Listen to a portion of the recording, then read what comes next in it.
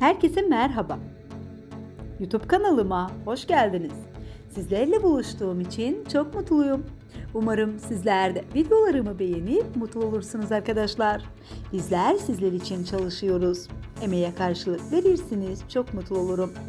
Bir seneden fazladır birlikte olan e, ve evlenecekleri iddia edilen Hande Erçel ile Kerem Bürsin aşkı dolu dizgin devam ediyor. Bürsin'in katıldığı etkinlikten sevgilisi Hande Erçel'e jestiyle duygulandıran işte detayları sizlerle paylaşıyorum arkadaşlar.